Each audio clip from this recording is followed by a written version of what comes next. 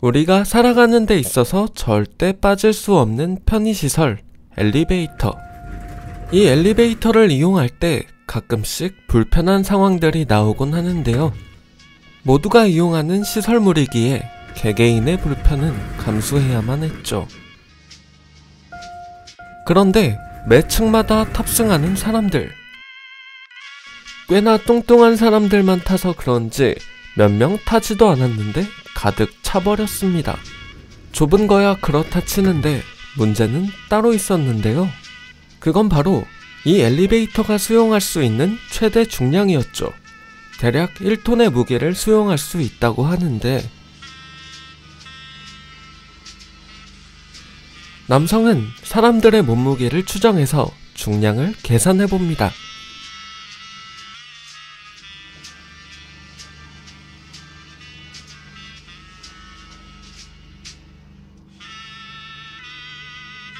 계산을 해보니 턱걸이에 딱 걸친 정도였는데요.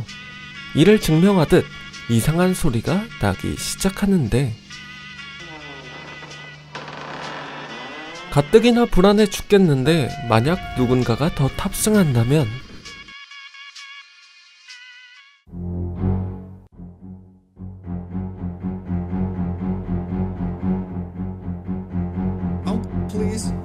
Out, me.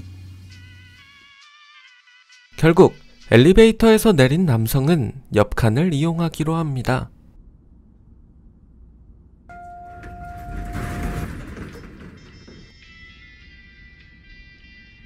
이번에는 아무 이상 없어 보이는데요.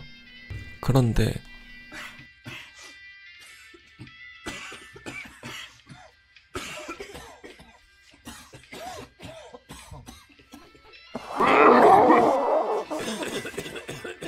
저렇게 마스크를 안 쓰는 건 코시국에는 절대 상상하지도 못할 일인데 한창 코로나가 유행했을 때 헛기침 하는 것도 눈치 보이던 때가 생각나네요.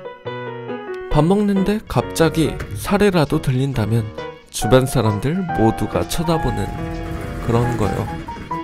아무튼 영상 재밌게 봐주셨다면 구독과 좋아요, 댓글 부탁드리고 지금까지 귀기무비였습니다. 끝